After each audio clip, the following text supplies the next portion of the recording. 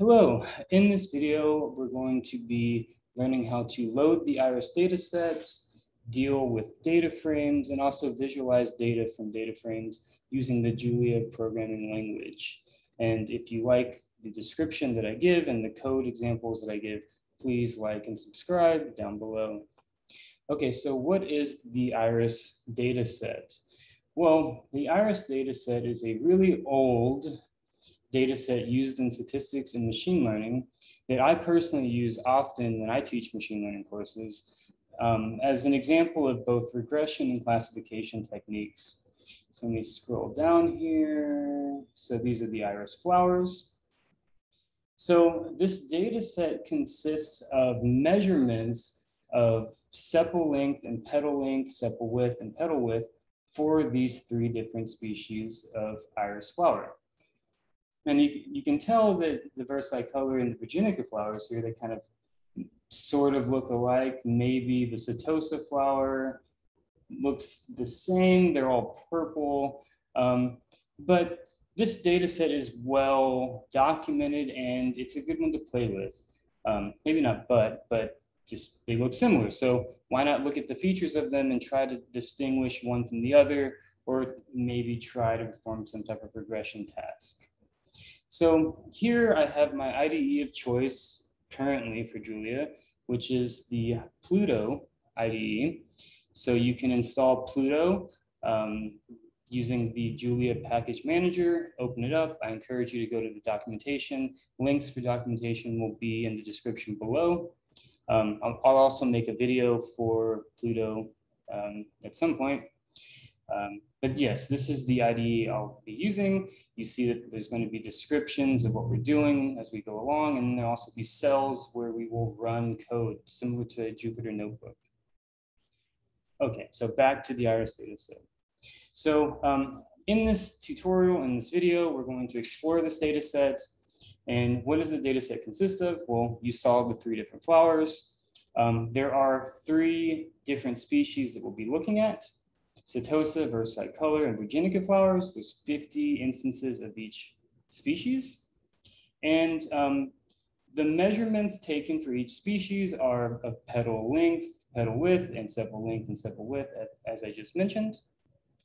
Um, and it is a famous toy data set. Um, it's, again, as I mentioned earlier, it's one that I use in my courses to demonstrate simple algorithms, classification, regression algorithms, and I personally like it a lot. Though I'm sort of leaning towards another data set called the Penguins data set, which I'll also make a video on soon. Okay, so um, 50 total instances for each species means there's 150 observations in total. So it's a small data set, but not trivial. Um, good for teaching purposes, right? Good for learning and exploring algorithms that you learn in your courses that you're taking possibly, or if you're learning on your own. Um, personally, or anecdotally, no, personally speaking, um, the IRIS data set was the data set that I taught myself machine learning on, taught myself how to deal with data, visualizing data. So I have like a sort of a fondness towards it.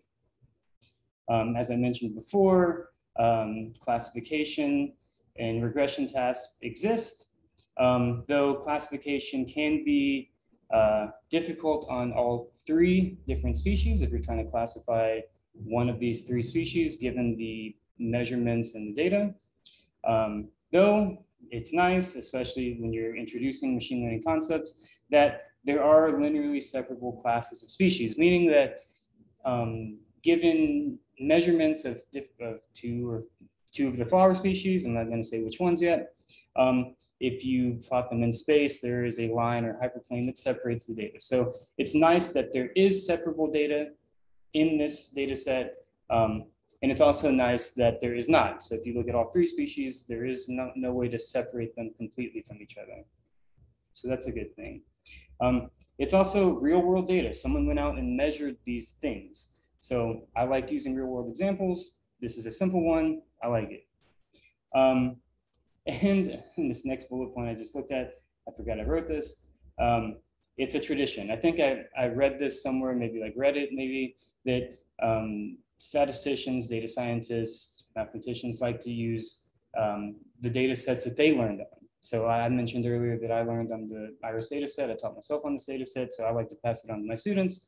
Apparently that's not uncommon for other professors to pass on to their students. More or less, if you study statistics and study data science, um, you would have account, uh, encountered this data set before, and you have some type of familiarity with it. So when you start talking with someone else or another like student, or if you're teaching one day and you're talking to the student or talking with a friend about data, it's nice to have a reference point. And that's kind of what the IRIS data set represents. Though people are, again, as I sort of mentioned earlier, moving towards the penguins data set for uh, reasons I might go into in a later video. Um, and there's also pictures. So we, um, the flowers have nice pictures, as I just showed. We can look at them, we see they're similar, and we want to, as uh, data scientists or machine learning um, people, we want to somehow see if we can separate these, determine which flowers are which based off of only numerical measurements. Okay, so let's get started coding. now, um, I have to remind you that I am using a Pluto notebook, which is different than a Jupyter notebook. Um, and Pluto notebooks only work by putting in um, one line of code at a time or putting in code blocks. You can't type code, um, press enter, enter, type more code. Each code cell in a Pluto notebook needs to contain either a block or a line of code. And again, I'm going to make a video on Pluto notebooks later so that you understand this more um, eventually.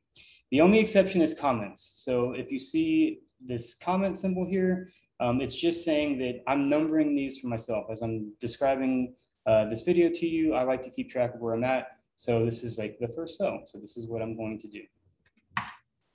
All right, so um, in order to load the, uh, well, not in order to, we first must load a few packages to do the task. And the task is this. We need to load the iris dataset. Um, we need to manipulate the type that it's imported as, which will be a data frame, and we need to work in the Pluto environment. So because of that, I'm going to import, or I'm going to type using the following packages. So using R data sets so this will import a bunch of different data, data sets, um, of which the iris is one of them. I'm going to be using data frames. I'm going to be using data frames meta for a very specific purpose we'll get to later. And I will be using Pluto UI, so user interface. So um, here we have loading the data sets that we want. Data frames is just going to, um, we, we, will be working with data frames. Uh, data frames meta, meta will be for a specific, specific purpose and um, Pluto UI will be for printing purposes in our Pluto notebook. So to run this, I just press Shift Enter. And it looks like everything ran. We have these check marks here, so we're good to go. All right, so part one. Uh, the first thing we need to do is to load the data, load the iris data. And there are many different ways to do this. In Julia, there's many different packages that come with the iris data set. Um, if we had the iris data as a CSV file, then we could load it using the csv.jl package. But for our purposes today, we're going to be using the dataset function from the R datasets um, package. So the way that this works is that we call the function, we pass in the string data sets, and then we give the name of the string, or we give a string of the name of the data set that we want. Uh, in this case, the iris data set. Now this function is going to return a data frame type. And data frame types are similar to data frames in R, data frames in Python. They are um, uh, basically spreadsheets in code that you can work with. Okay, and I have some description here. Um, so data frame is data structure that organizes data into two into a two-dimensional table of rows and columns, like a spreadsheet, as I said. And it's one of the most common use cases of a um, data structure in programming languages, especially R and Python. Um, and they exist in Julia as well, as we'll see. Um, so let's go ahead and load our data. So we have our comment number two, so this is our second cell. And we basically just need to pass in uh, the name as a string iris into this function. So, and we need to assign it to a variable. So iris is equal to data set, data sets, and then we need to pass it iris like that. Press shift enter. So let that run. Might take a second the first time that you um, use a package in Julia. Uh, there's various reasons for that, but uh, don't be bothered if it's taking a little bit of time. Oh, and there it goes. So there it is. Here is our data frame, and you can see it's a um, rectangular grid. Um, for those of you not familiar with Pluto, when you run cells in Pluto, the output appears above the cell that you ran. So here is the output. And we see that we have columns, sepal length, sepal width, petal length, petal width, species. We have a bunch of rows, and uh, all of these are contained in the iris variable. So iris is a, a data frame. Okay. So um, a lot of times when you're dealing with big data, you'll have a huge data frame and it's impossible to see all of the columns. It's you definitely can't see all the rows. So you might just want to look at like a chunk of the data frame, um, maybe the first few rows, just to get, get a sense of what's in there um, and what the types are. So in Julia, if we're going to view the first 10 rows, we're going to call the function first. So this is built in once we've uh, loaded the data frame package. So we pass in our frame and then we give it an integer with the number of rows we want to look at. In Python, this is equivalent to calling the method frame.head and then the number of rows you want to look at. So let's go ahead and see what this does. So first, um, our frame's name is called iris, and we want to look at the first 10 rows. So we see we have the first 10 rows of our data frame. And again, this is any um, non-negative integer or positive integer. Um, so we can look at like maybe the first three rows. There's the first three. And it's just a way to get a glimpse at the data that we're working with. Okay. So as we see above here, we have a bunch of rows and columns. Um, again, when you're dealing with large data sets, large data frames, um, you would like to know the number of rows and columns that are in your data frame.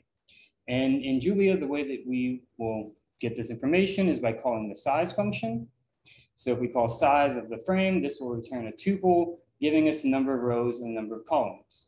This is akin to, in Python, doing the met calling the uh, attribute frame.shape. So let's see what happens when we do this. Size of iris. So again, I'm using frame here in these um, in this markdown. It's just a, a, general data frame, but our data frame is called iris, so that's the one I'm going to pass in here. All right, so we see 150 um, rows and five columns. Okay, so uh, um, basically what this means is, uh, let me run this cell again. Fix that arrow, sorry. Um, so what this is saying is there's 150 flowers that were measured on, and there were five different attributes for each flower. Uh, keeps on doing that. Um, so if we go up here, we see like this is the first flower, and then we see there were sepal length, sepal width, petal length, petal width, and then species. Those were the five different inch, different things that you could measure about this flower. And then for the next flower, there's five different things. For the third flower, there's five different things. So this is what the size is telling me okay? Now, when dealing with data frames, you would like to know the column names. So the column names here are almost like uh, keys in a dictionary that point towards the column that you're interested in. And sometimes you'll have like 50 plus columns and you'd like to know the list of all of them. So to get that list of column names, you call the function names which in Python, you would call the, the attribute columns. So let's just go ahead and see what happens. Names, and then let's throw in iris. Like so this gives us a list of the of all of the names in our data frame. All right, so we, we know what we're working with at least. All right, so now that we know the column names, we would like to be able to access a single column at a time inside of our data frame. For example, if we're looking up here at petal length, um, we want we might want to know all of the petal lengths or all of the petal widths or all of the species, right? So as I mentioned before, the columns sort of act like keys in a dictionary where you pass the key in to the dictionary and it returns a key value. With data frames, you pass a key in and it returns a value, which is the column underneath the column name.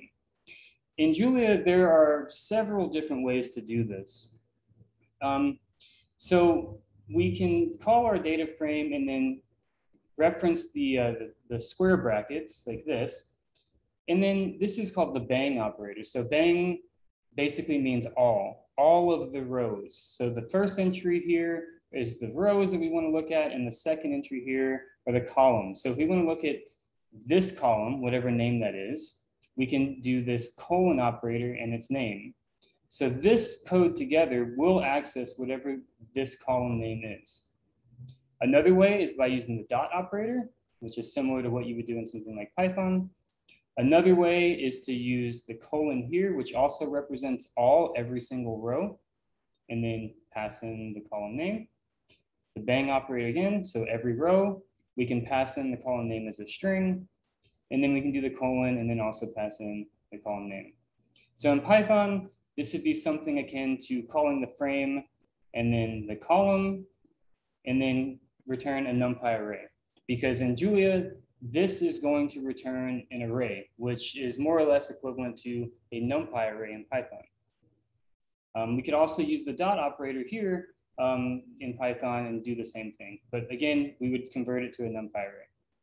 So let's go ahead and look at the different ways of doing this. So we can do iris bang operator. Oh. So the rows, we get the bang operator, which means every single row. Um, and then we would do, let's for example, look at like sepal length. Right? So that's, that's the array of all of the, the sepal lengths. And then we could do the dot operator. So iris dot sepal length. This would also give us the same array. And then what's the next one? The uh, colon operator. So iris colon and then sepal length should return the same thing. And then we can do this with iris um,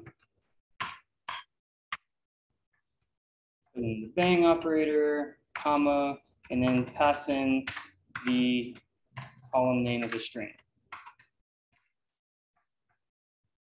And then in a similar fashion, we can do uh, the colon operator. Oh.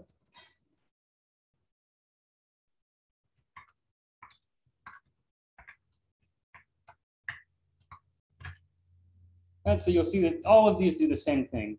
Now in Julia, from what I understand and what I've, I've seen done before, um, the preferred way is this way using the bang operator and then colon the name of the, the column. So that's accessing one column at a time. What if we wanted to access multiple columns? This is another common thing um, to do when dealing with data. Well, it's as simple as before, just now, instead of passing a single um, column name, we pass a list of column names. And each entry, or not list, I'm sorry, array. We pass an array of column names, and each entry in this array is either the colon operator before the name or a string. And again, in Julia, it seems to be commonplace that the colon operator is preferred. So this is how I'm going to do it.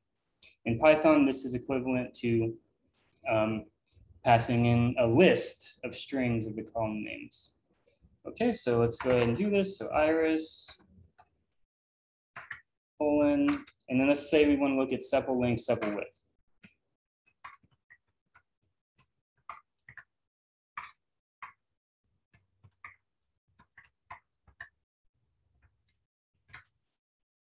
All right, so now we see that this has gathered all the data from our data frame iris um, in the column sepal length and sepal width. Okay. So next up um, is, I suppose, a little bit advanced, Julia, but um, just bear with me on this. Um, we would like to select uh, um, rows from a column, from, not from a column, rows from a data frame so that a certain entry matches a given criteria. The way that we're going to do this is using a macro, which you can think of for now as a function, and it's the macro at where, which we imported from the data frames meta package. So when we um, imported or typed using up here, let me make it up here, using data frames meta, we now have access to this macro. And the macro is down here at where. So the way this is going to work is we're going to pass in our data frame and the second entry here will be, so we have this in function. Okay, so in this list of classes dot and then this column. So suppose we wanted to know versicolor and setosa, we wanted to somehow return the data frame that are only labeled setosa and versicolor in the species column. Then we would type at where oh, frame comma in. So pass this an array. So setosa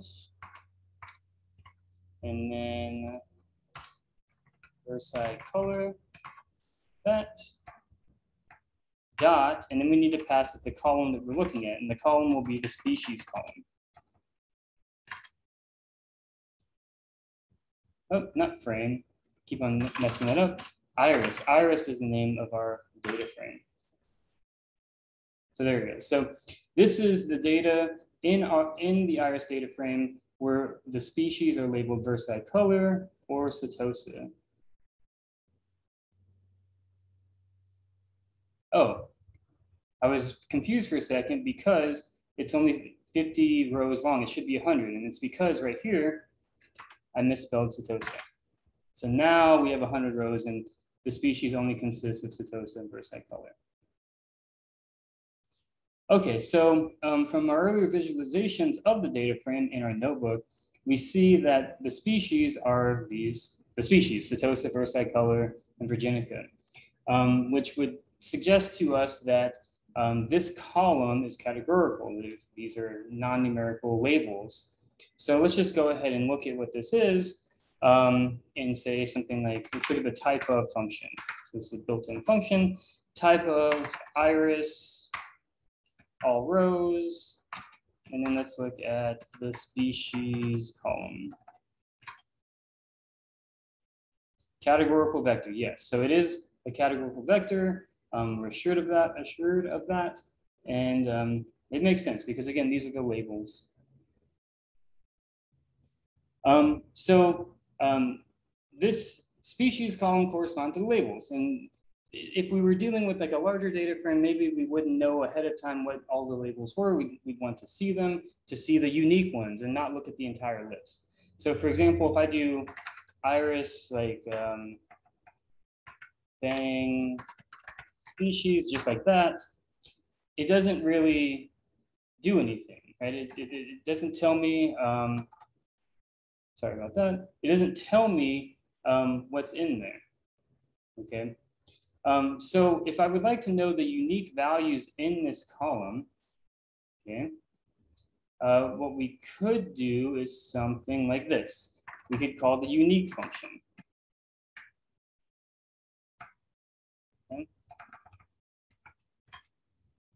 So these are the unique values in that column, right? And this is akin to making a list of the method unique in Python, as you can see here. Now we could have also um, learned that this was um, categorical um, and among many other statistical measures of the data frame by calling the describe function. So let's look what happens when we call this.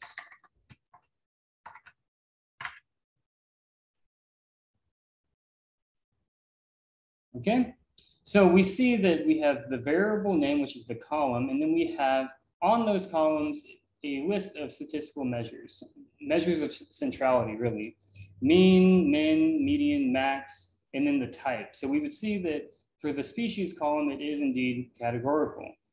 And then all of the rest of them are floats. And then we can see some description of these. Um, this function describe is uh, similar to in Python, the describe method.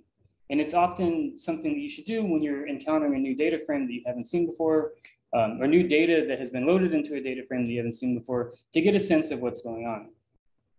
Okay, okay. so next up, visualizing our data. So um, this is a really important aspect of being a data scientist and dealing with data. It's having tools that you can view the numerical values visually. And this is, it should be somewhat obvious that this is important. So um, in order to do this, uh, we're going to need the plots package. So we're going to type using plots. And I think I should set my theme to dark. I wonder if that's the correct syntax. All right, it looks like it is. And a list of themes for plots will be in the description. And you can find them here at the plots documentation. So I just picked dark out of all of these. Okay. And you'll see what that looks like in a moment. All right, so now that we have imported the plots package, we set our theme, we have access to the scatter function. So when we run using plots, we immediately have access to this function. And this function scatter will scatter um, data in um, Euclidean plane, which means that you need X data, and for each X data point, you need a Y data point. And those are the only things that you need to pass into the scatter function. Though in this description here, I list a bunch of different others.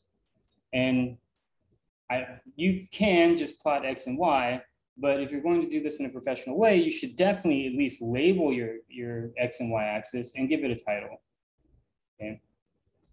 So let's see what happens if we just plot X and Y.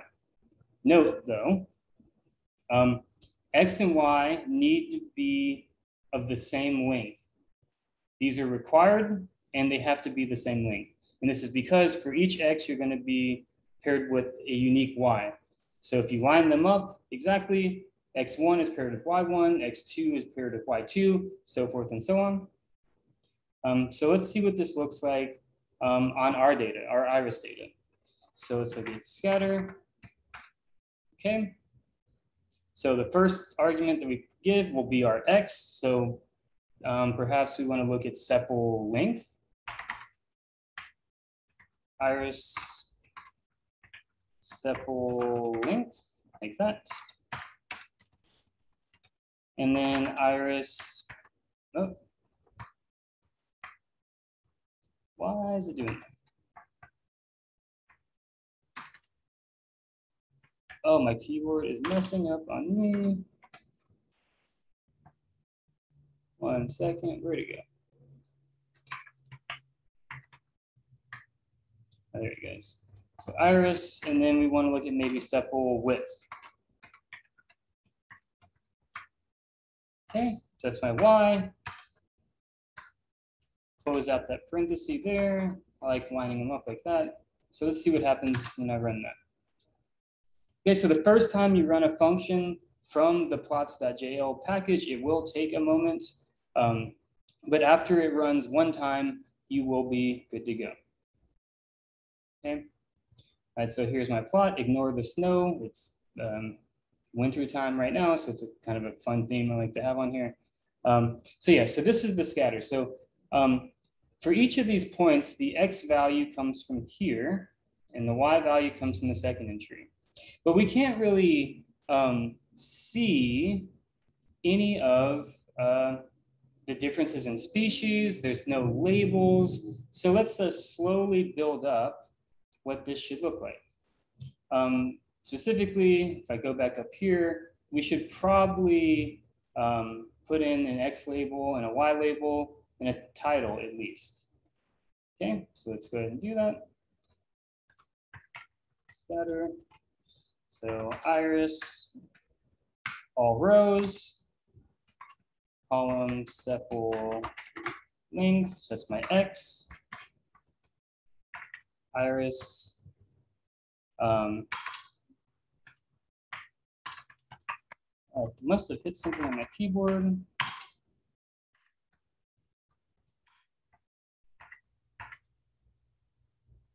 Second. Pretty good. All right, there it goes. Iris, all rows. Sepal width. All right, so next we want to make our X label. And we'll say that this is sepal length because that's what we passed into our X argument. And Y label, we'll make that sepal width because that's what we passed into our Y argument. And then finally, let's make a title. Um, let's call it, I don't know, my iris data. So now we see that we at least have labels. We have um, on the x axis and the y axis, we have a title. Um, so next up, let's uh, change the marker size and how transparent the, the markers are, just because it looks cool.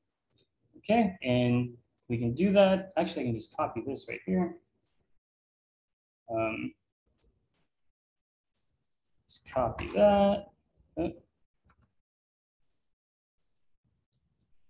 I think Zoom is making my keyboard mess up. Copy that, paste there. All right, so what are we going to do? Change the marker size and how clear it looks. So we can type marker size equals to like 10. And then for how clear it looks, we can type um, alpha equals to 0 0.65. All right. So alpha is just a number between 0 and 1 that specifies how intense the colors are. So if I change this to like 0 0.15, they barely appear. If I change this to 0.95, it's really bright. If I want a little bit of show through, maybe I'll change that to 0.65, or maybe even like that. Okay. Right, so it's starting to look better, but again, our legend here isn't telling us what the species are, and we can't differentiate the species with this plot. So um, with that being said, we're next going to group the data. Okay, so I'm just going to copy that, paste down here, and I'm going to add the group argument. So we're going to group by df, all rows, um, species.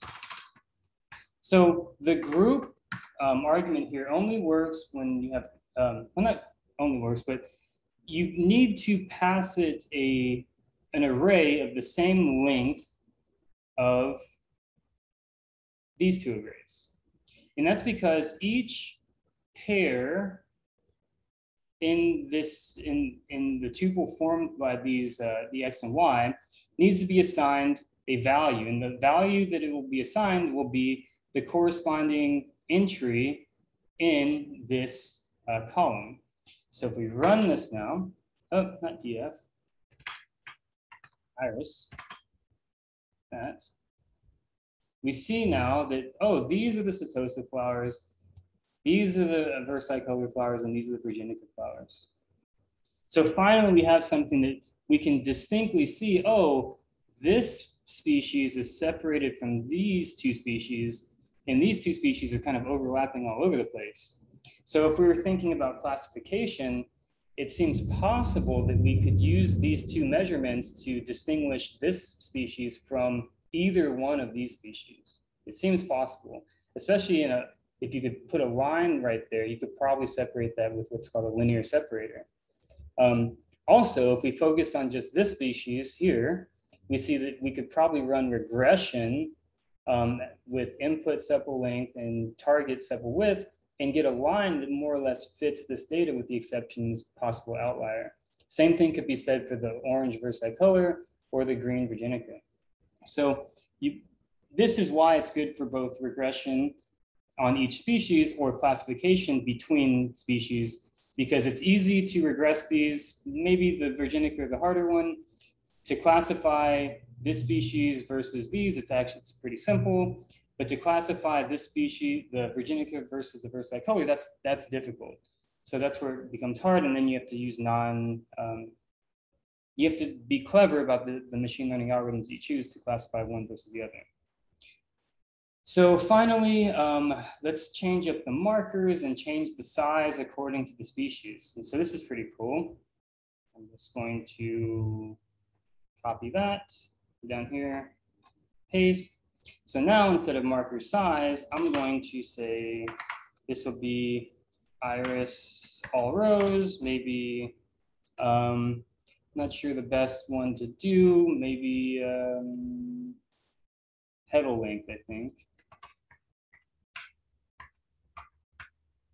So notice up here we have iris, sepal length, sepal width, petal length. It's hard to visualize in three dimensions, but we can visualize three dimensions by changing the size of the markers. Um, and then let's go ahead and actually change what the markers look like by passing it a row of marker types. So we can do something like um, type O, um, maybe a, a, hexagon, and then finally, um, say star seven. And then be sure to put a comma right here. Now, um, these uh, markers, I just find on the plots.jl um, uh, documentation, and there will be a link to this exact page in the, the description below. All right, so let's see what happens. Marker size is going to be this, so uh, marker is going to be this. Notice now that this is not a single number, this is a um, array of the same length of these arrays, which means that each entry in here is going to be sized according to the size of their petal length. They're kind of hard to see, so we can scale this up by maybe multiplying this array by um, 4.5 or something. Too big, maybe 3.5. Too big again, maybe 2.5. All right, so now we see that the relative size of the markers are indicated by some scaling of the petal length of each species and we've specified specific markers by passing in three. There's three classes. So um, the, the first class will have marker O, so there's the setosa. The second class will have a hexagon, those are the versicolor, and the third class will have marker star, and then don't forget your comma. Um, and we can change these. Again, if we just go to the documentation, I see one called X cross right here go back over here and I can change this to X cross like that. Um, and any any number of things we want to like uh, uh, diamond, for example. Just trying to get the, the little setosas to appear more.